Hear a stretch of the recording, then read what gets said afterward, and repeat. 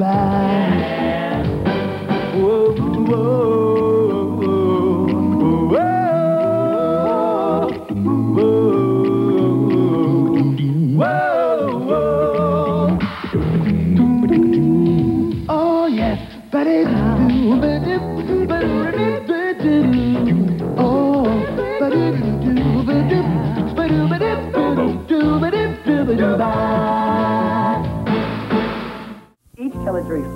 has this box that records everything we watch. We also have a diary in which we faithfully record which programs we view. Now, here's a typical two-hour block. Okay, so we have uh, cartoons, cartoons, Oriental Deaf Theater. oh, here's a linguine I had for lunch. So, in conclusion, we, the Cleaver family, uh, take pride in the fact that we are shaping the television viewing habits of the American people. And besides, we get a free trash compactor. Thank you. Any questions? Oliver, aren't telejury families supposed to keep their identities confidential? Well, yeah, but and I wouldn't have had anything to talk about for two minutes. Thank you, Oliver. And I do hope you acquire some new interest between now and your five-minute speech. And now we'll hear from Dorsey Thomas.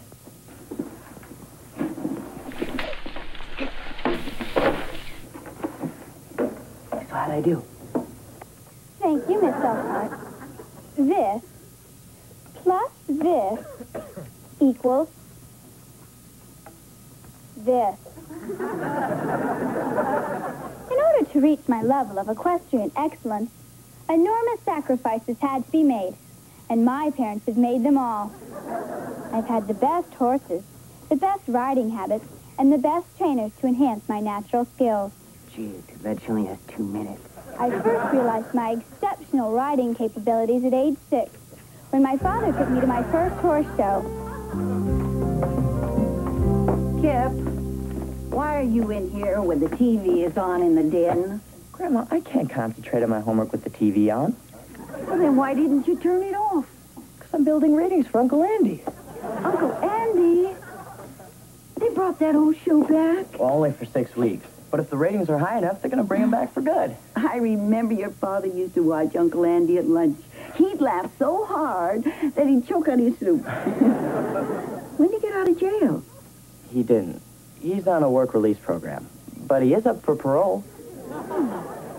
Well, if anyone deserves a second chance, it's Uncle Andy. The things that man could do with seltzer.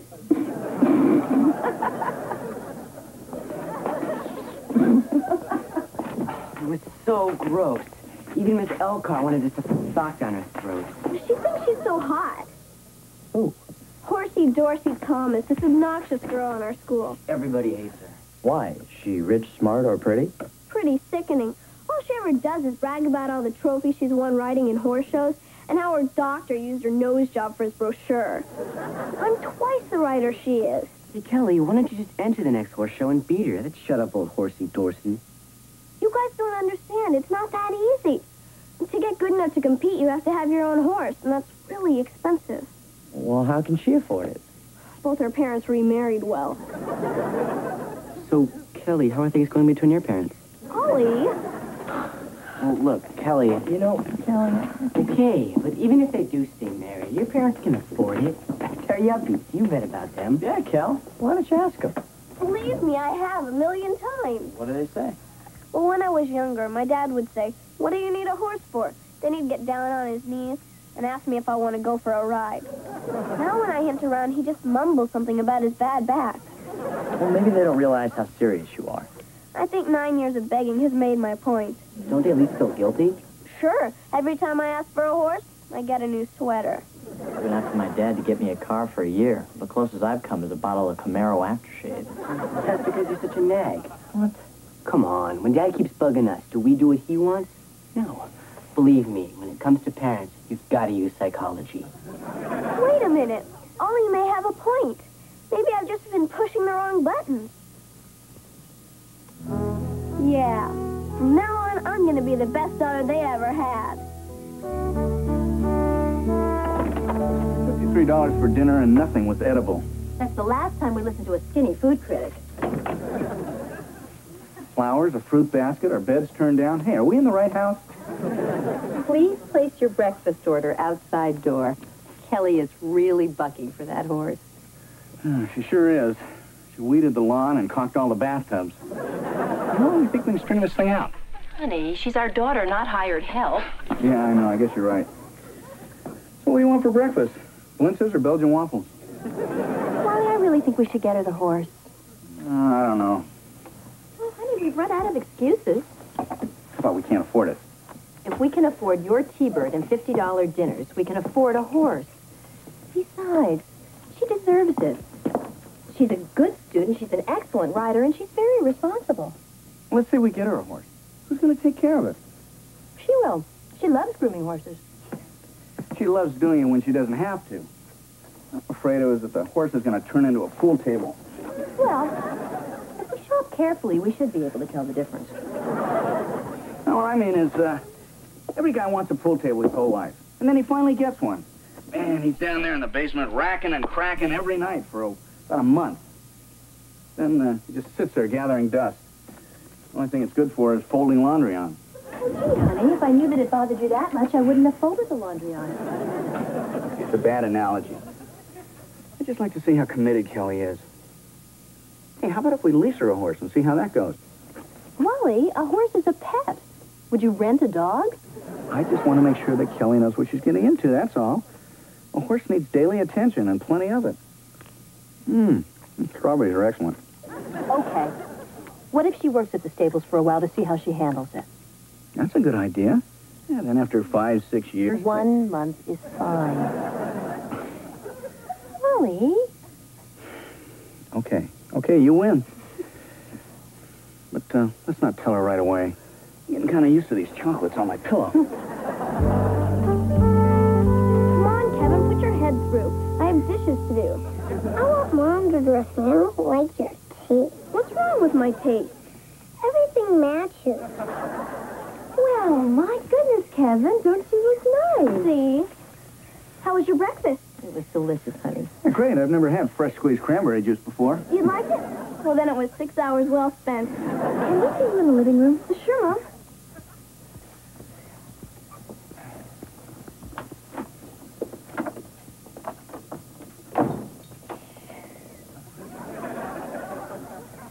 Yeah. Honey, we want you to know how much we appreciate your helping us around the house so much. Yeah, but a horse is a whole new level of responsibility.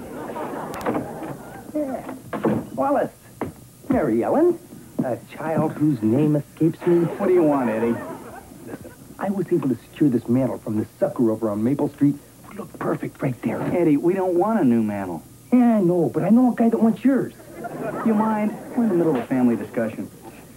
You're always in the middle of a family discussion. Oh, Mr. Haskell, please. Well, I think my parents are trying to buy me a horse, and I don't mean to be rude, but you're wrecking it. Horse. Some mother. Why don't you just let her hitchhike through Europe? Look, honey, if um if you did have a horse, well, you know, it wouldn't be easy. I mean, uh, you'd have to keep your grades up, and you wouldn't have as much time for things like the telephone, boys, shopping. That's okay. I have all the sweaters I need. We just don't want you to get in over your head, so we thought it would be wise if you worked at the stables first. Yeah? Yeah, then after uh, a long time, One month. all right, one month, if you still thought you wanted a horse, then we'd get you one. You guys are the greatest.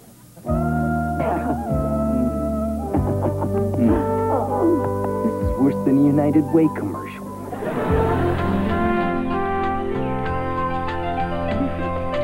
It's not going to be that easy getting me a job here, Grandma.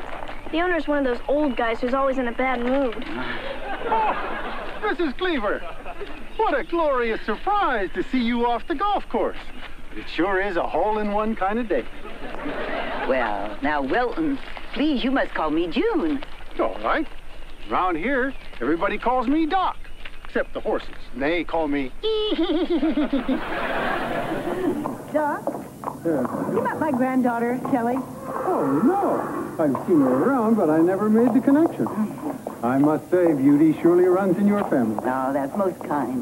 Grandma, ask him now. Um, Doc, you know, the reason I'm here is to try to get Kelly a job. Her parents have agreed to buy her a horse, but until they make that kind of an investment, they want to be sure that she can handle the responsibility. Oh, really? Well, that makes horse sense to me. I've seen you ride, and you know your way around a barn. But I hope you're not afraid of hard work. No, sir. I'll wash, groom, feed, shovel, and I squeeze a mean cranberry. Well, there's not much call for that around here. But, oh, now the owner of this filly's looking for a groom. Why don't we go to dinner tonight and uh, discuss the possibilities? I'd love to. No, I was talking to your grandmother. Uh, she'd love to. Wouldn't you? All right, now, it's all set. I'll pick you up at 8, and I'll see you here every day right after school. Thanks, Doc. Mm. Oh, here, you get to meet your new boss now. Dorsey, want you to meet your new groom. Ah, yes. Little Kelly Cleaver. She'll do just fine.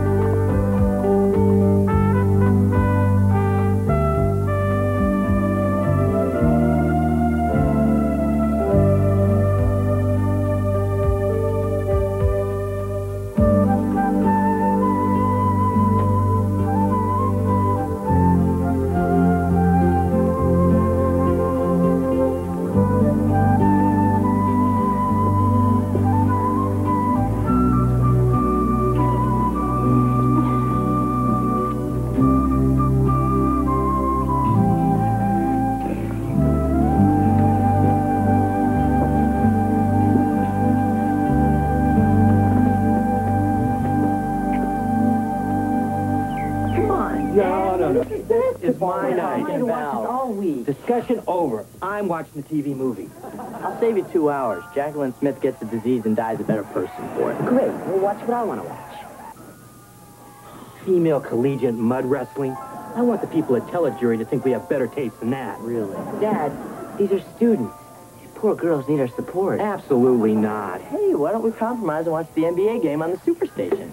Look, we'll do this like a democracy. One man, one vote. I vote mud wrestling. I vote basketball. You guys don't seem to understand. I'm the man. I got the vote. I want to watch the movie. Oh, female mud wrestling. You don't even Think of like Jaclyn Smith. No, I wanted to watch it. I Come on. told everybody. I want Here, to babe. Use this. No, thanks, Eddie. Okay, but my grandfather always said, raise a wealth, raise a solid citizen. Come on, guys. Why don't you go upstairs and read a book? Read a book? I'd rather take the belt. Dad, come on. No, please, I have to see this. I think I see what your problem is. This telejury thing is disrupting your whole family. And for what? We got a free trash compactor. A free trash compactor? Ooh, lucky you. You deserve more out of this deal. Hey, there's got to be some big-time cigar chomper out in Hollywood that would reward you handsomely to watch that sludge they put on the air. We'll watch whatever sludge we want. I'm picking Kelly up at the stable. I'll be back in a minute. Wait a minute, Grandma. I'll go with you. This place is too democratic for me. Uh, good evening, Mrs. Cleaver. Uh, may I say that that's Eddie, lov- I'm in a hurry. Anyway, you fly me out to Tinseltown, uh, first class. I'll make a few deals on your behalf. We'll split the profits. We don't want any part of your sleazy deals. Look, you're going to be watching this garbage anyway. I say, why not get paid for it? Because it's dishonest. So, what's your point?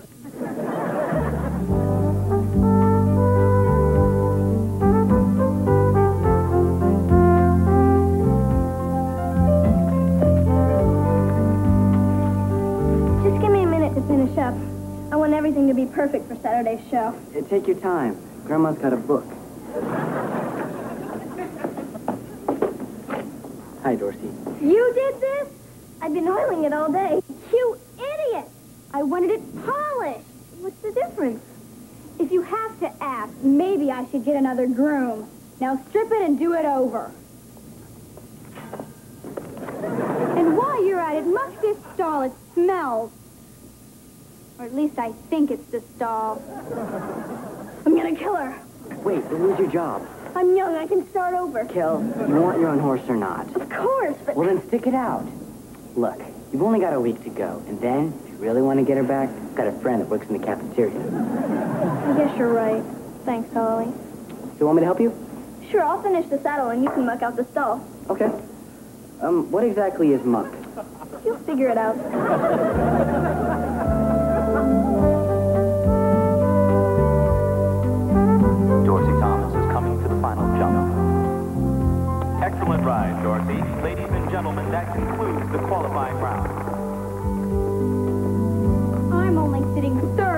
Opening round. Can you imagine? Those other have paid off the judges. Did you notice any trouble getting Princess to jump? No. Well, nothing I can't handle. Her left leg's a little swollen. So? Don't you think we should have a vet look at it? Or at least Doc? What do you know about it? You're just jealous because you can't compete. What I do know is that if she was my horse, I wouldn't risk hurting her forever just to win a dumb riding ribbon. Well, she's not your horse. She's my horse. Now mind your own business and get her ready for the final. Attention all junior riders. Please report to the West Ring for compulsory. Our next young participant is Dorsey Thomas, third after the qualifying round. She rides Princess, a six-year-old mare by Taylor's Delight and Georgia Red.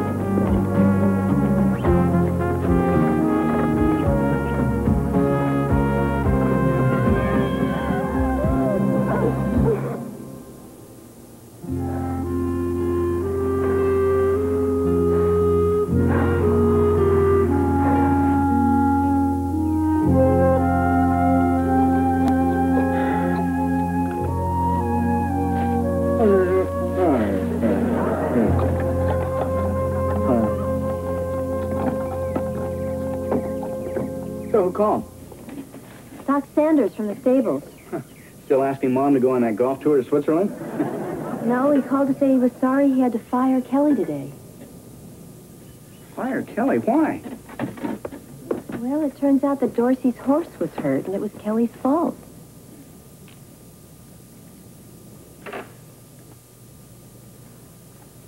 Hi, sweetheart. Hi. Honey, you okay? Yeah. Hey, listen. We heard about what happened today. You want to talk about it? No, thanks. I'm gonna go up to my room and develop some new interests. I hear stamp collecting's fun. Maybe I'll start a River Phoenix fan club. I'm so sorry. I know how much you wanted this. This really wasn't your fault. I think we put too much pressure on you. And I know you feel bad now. But remember, we love you, and you'll always be our little baby pumpkin rabbit ear. Stop treating me like a baby. I know it wasn't my fault. It was Dorsey.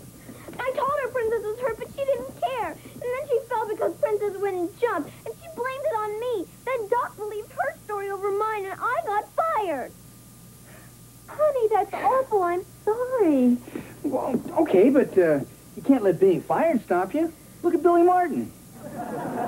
Well, what I what I mean is, uh, all you lost is a job. And a horse. Well, now let's look at that. We wanted you to work in the stables for a month, right? And I only lasted three weeks. Oh, but you didn't quit. Yeah, I was fired. Honey, we had you work at the stables to show us that you understood the responsibilities of owning a horse.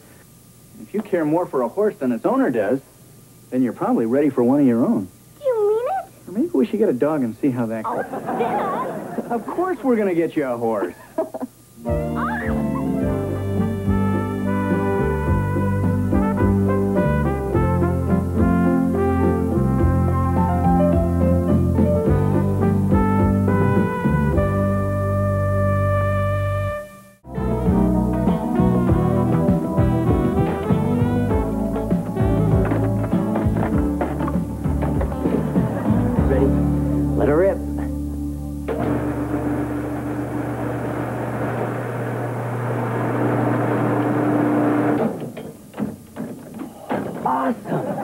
Awesome. Now do we smash? Here we go. This thing's been busted for months. Good idea. Hi, guys. Hi, Dad. Hey, we got the new trash compactor. It's great. so great. Where's the pop radio? I finally got a cord for it. Ah, we haven't seen it for a while, have we, Ollie? No, no, not for weeks. Oh, well, it'll turn up.